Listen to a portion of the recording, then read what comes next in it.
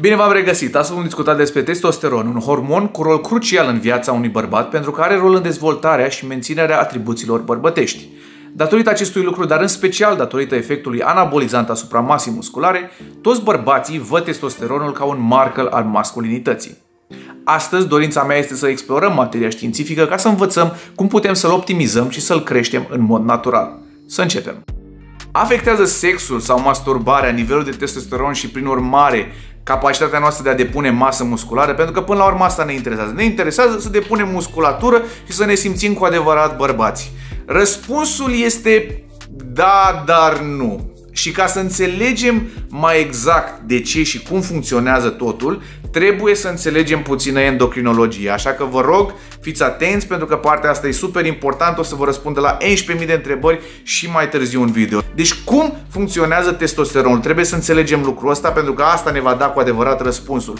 Totul începe în hipotalamus, unde se eliberează hormonul de eliberare al gonadotropinei. Acest hormon stimulează producția de hormon luteinizant în glanda pituitară. Hormonul luteinizant va circula după aceea în sânge și va ajunge la testicule, la celulele Leydig, unde împreună cu colesterolul va intra într-un proces metabolic foarte complex și, într-un final, va produce testosteron. O parte din testosteron va rămâne în testicule și va lua uh, parte la procesul de spermatogeneză, producția spermei, care mai târziu va fi scoasă prin ejaculare în cazul sexului sau masturbării, dar vasta majoritatea testosteronului va circula în organism la creier, oase, ficat, celulele adipoase, adică grăsime, sau la celulele musculare, unde ne interesează pe noi.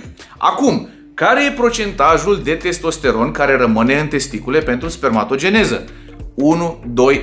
1-2% din cel produs. Deci da, o parte din testosteron este scos din organism în timpul ejaculării, dar vasta majoritatea lui rămâne în organism și este mai mult decât suficient. Din testosteronul eliberat de celulele Leydig, numai 20 până la maxim 40% din el este în forma activă. Restul este blocat de o proteină produsă în ficat, numită SHBG, care se asigură practic că nu poate să interacționeze prea mult cu organismul sau că e ținut în parametri normali. O să vedeți că fiecare decizie din stil de viață, alimentație, suplimentație va avea un loc în toată această ecuație. Acum vom merge un pas și mai departe. A doua întrebare importantă este ne-am făcut un set de analize și ne-a ieșit testosteronul în parametri normali, dar ne-a ieșit spre limita inferioară. Cum putem să-l ridicăm și dacă nivelul mai scăzut este cu adevărat o problemă? Vreau să înțelegeți că atât timp cât aveți testosteron în parametri normali, nu vă afectează realistic vorbind capacitatea voastră de a depune masă musculară. De ce? Așa cum am spus, o parte din testosteron este testosteron liber, formă activă. Acesta va ajunge la celula musculară. La celula musculară va interacționa cu un receptor numit receptorul androgen. Acest receptor androgen îl va trage în nucleu și acolo va produce gene care prin expresia lor vor produce într-un final proteine și aceste proteine vor crea practic masa musculară cu adevărat. Ce am vrut să spun cu toată nebunia asta este faptul că receptorul androgen este mega, mega important și nu e discutat de nimeni. Dacă nu avem suficienți receptori androgeni în organism, în celula musculară, nu contează cât testosteron liber avem în sânge. Pentru că celula noastră pur și simplu nu poate să-l folosească.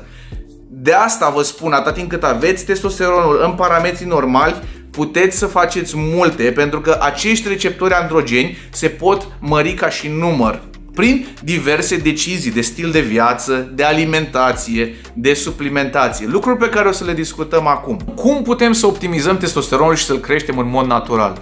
Alimente și băuturi. Avem alimente cu un impact pozitiv asupra nivelului de testosteron sub forma celor care au omega-3. Omega-3-ul este foarte important pentru că ajută creșterea numărului de receptori androgeni și prin urmare extragerea și folosirea testosteronului mai eficient din sânge. La ce ne referim prin alimente cu omega-3? Ne referim la pește gras, vorbim aici de somon, herring, macro, sardine. Dacă suntem vegani, putem să luăm un supliment cu ulei de alge și bineînțeles, dacă suntem omnivori și nu, nu tolerăm peștele, putem să suplimentăm cu un ulei de pește. Încă o categorie de alimente care măresc numărul de uh, receptori androgeni sunt cei care conțin flavonoizi. Vorbim aici de fructe de pădure. Acești compuși din nou măresc numărul de receptori androgeni. Aș mai menționa încă un compus chimic care se găsește în usturoi. Vorbim de alicin. Acesta se pare că ajută în mărirea testosteronului, dar studiile încă sunt destul de limitate. Merită menționat totuși.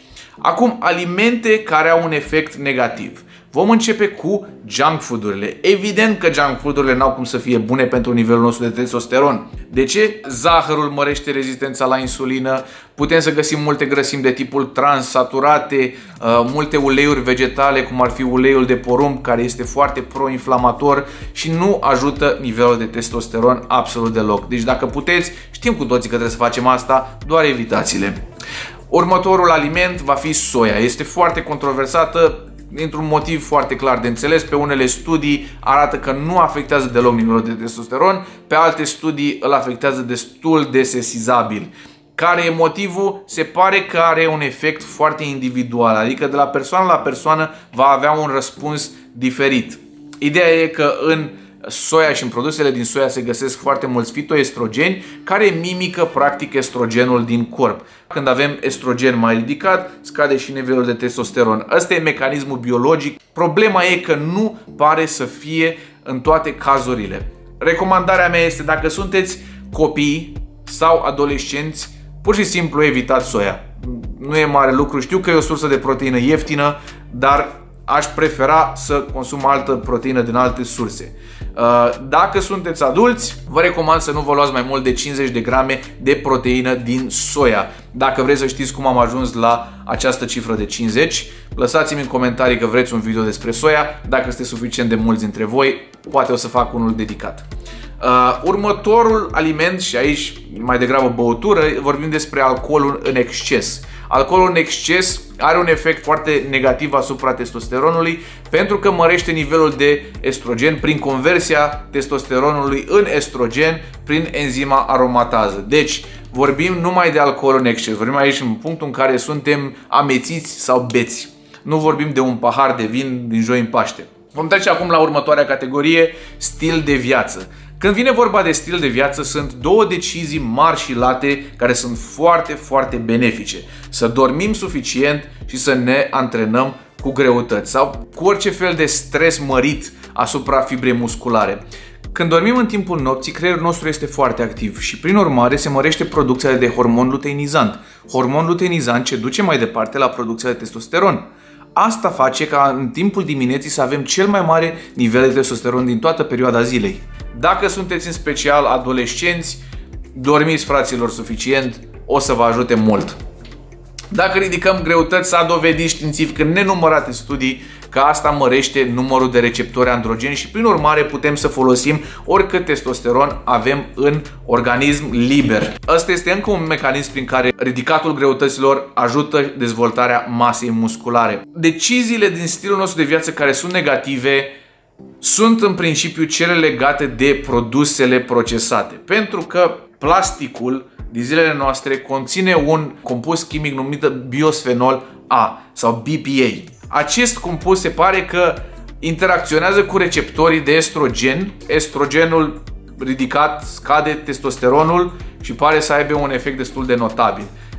Cu toții știm că trebuie să evităm produsele procesate, evităm și plasticul. Încercați să evitați plasticul. Și acum trecem la ultima categorie, vorbim despre suplimente. Mulți dintre voi mă întrebați ce părere de suplimentul ăsta, dar de ăsta majoritatea sunt o risipă de bani. Deci credeți-mă, mi-am petrecut ultimele săptămâni citind de 11.000 de studii despre fiecare compus chimic care ar putea să aibă efect natural din plante. Nu au mai niciunul. Sunt foarte puține care au un efect cu adevărat sesizabil și ca să înțelegeți ce mă refer prin efect sesizabil, mă interesează să mărească testosteronul liber la adulți tineri. Da? Nu mă interesează ce a descoperit unul că face pășoareci, nu mă interesează ce s-a întâmplat pe o celulă, nu mă interesează ce s-a întâmplat la cineva la 70 de ani. Pe mine mă interesează să fie măcar 40 de ani sau mai puțin un efect sesizabil, să fie multe studii care să arate constant același efect. Și într-un final am ajuns la următorul uh, Următoarea concluzie.